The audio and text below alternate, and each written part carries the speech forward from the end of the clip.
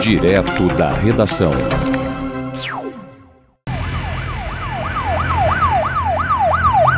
O aumento da violência urbana em Macaé está expressa, está detalhada em vídeos e áudios.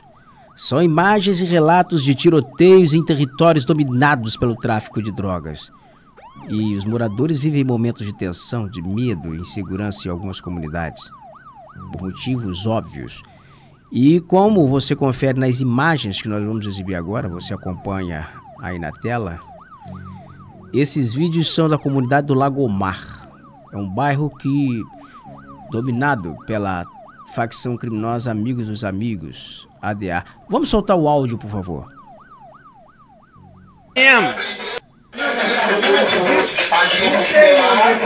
Oi! Tá monitorado, estamos na 28. Uhul! Se o pau quebra, irmão. Fechamos um quadrado, estamos na pista, irmão. Botamos o baile, é baile do Lagomar, pô. Estamos daqui mesmo. Olha, isso daí, pra você que está no rádio, uh! você está ouvindo o áudio. Tamo aqui, irmão, valeu? A tropa. Olha, isso, é beira, isso tá é na, na beira pista, da pista. Pô. Tamo na pista, e irmão. essas pessoas que estão falando aí que tá no baile, Lagomar, que é o baile do Lagomar, que é o ah, funk, eles estão com fuzis aqui, e pistolas. Olha aí. Caralho, rapaz. A beira da pista. Uh! Eles estão com fuzis e pistolas na comunidade do Lagomar.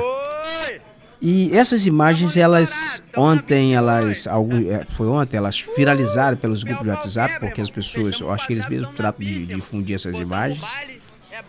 E nesses grupos também circulam áudios em que se recomenda aos moradores para evitar transitar por cabiúnas, aos moradores e aos motoristas.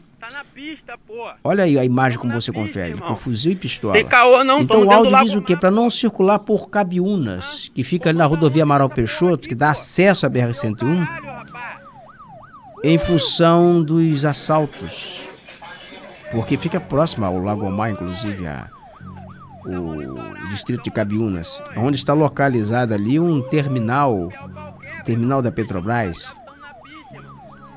E o 32º Batalhão de Polícia Militar de Macaé, ele está reforçando, segundo as informações que nós temos aqui, o policiamento ostensivo para conter o avanço da criminalidade na cidade. E o objetivo é combater os assaltos, em algumas comunidades. E um dos episódios recentes foi a ação de bandidos nessa região de Cabiúnas, no distrito de Cabiúnas, que é próximo ao Lagomar. Os bandidos eles estavam assaltando os carros que passavam pela rodovia Amaral Peixoto. E para fugir da polícia, quando a polícia se aproximou, esses grupos eles roubaram um carro que posteriormente foi abandonado no bairro Ajuda de Cima, e esse veículo foi recuperado e devolvido ao proprietário. Essa é a imagem de Macaé demonstra o quê? Que a violência urbana ela está sendo retomada em Macaé. Depois de um período assim de um período de, de tranquilidade, a violência ela voltou. Ela voltou a assolar as ruas de Macaé. Isso aí vai exigir integração entre forças de segurança estaduais, política municipal.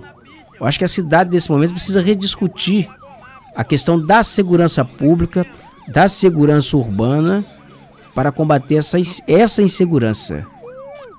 Porque Macaé, no estágio em que está, o tamanho da cidade que, que, que representa hoje, sob o ponto de vista econômico, ponto de vista demográfico, uma cidade que vai ter ali 14 termoelétricas, uma cidade em plena expansão econômica, não pode conviver mais com esse tipo de insegurança.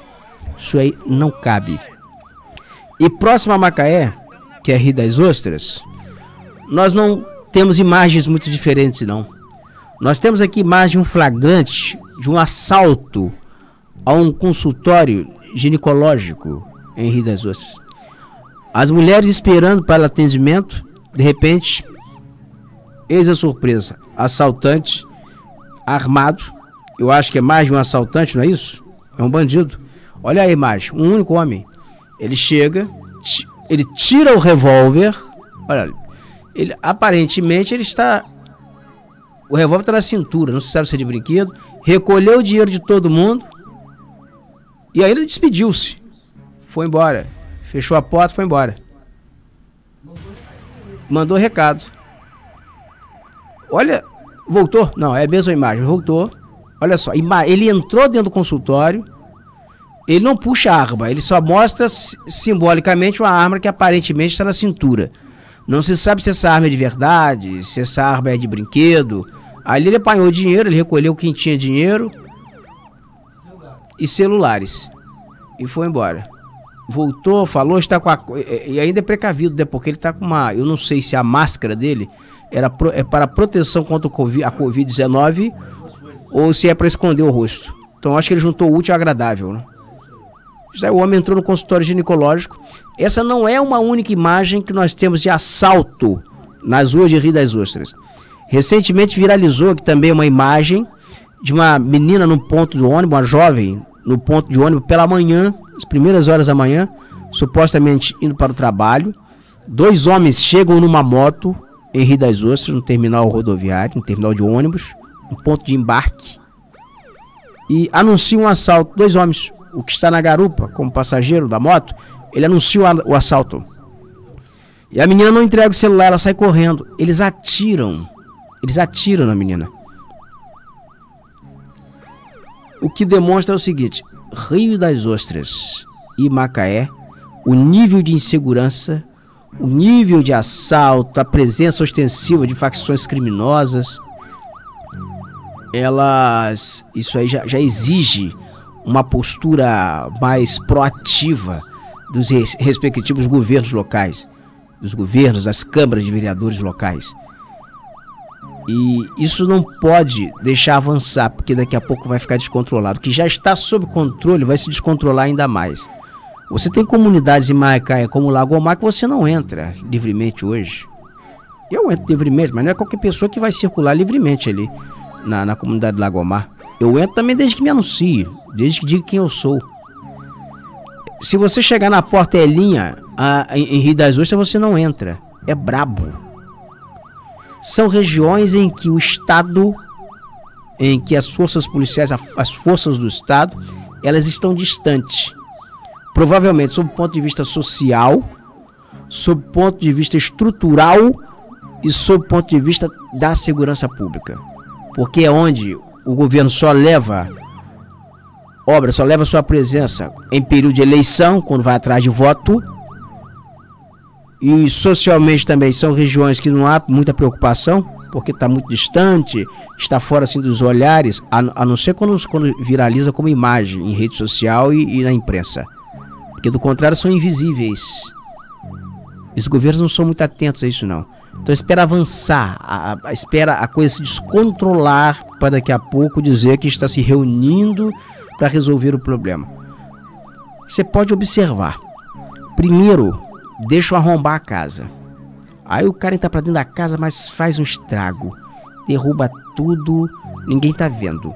Mas quando alguém vê, alguém faz a imagem e mostra a casa arrombada, a coisa já fora de controle, Aí vai se reunir em fóruns, vai fazer masturbação filosófica, vai ficar aquela coisa toda, aquelas reuniões, aqueles encontros secretários, aquelas teorias que não leva a lugar nenhum, que não leva a lugar nenhum.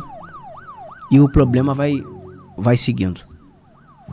A situação em Macaé é muito grave, a situação em Rio das Ostras é muito grave e as autoridades precisam acordar. E com uma certa urgência.